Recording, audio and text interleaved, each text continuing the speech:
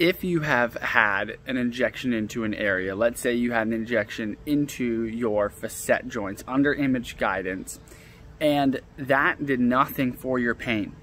If it did nothing for your pain once, doing it again is not going to change anything. It doesn't matter if you use a different substance. So if you actually have facet pain, it doesn't matter whether you inject lidocaine, a steroid, PRP, dextrose stem cells, there will be a response because it's treating the right spot.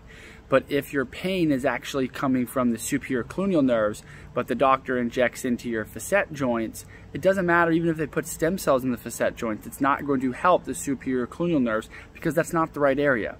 So if you have an injection and it does not help you at all, meaning the injection and you don't get better and then get worse, but like nothing happens, it's not injecting and treating the right spot.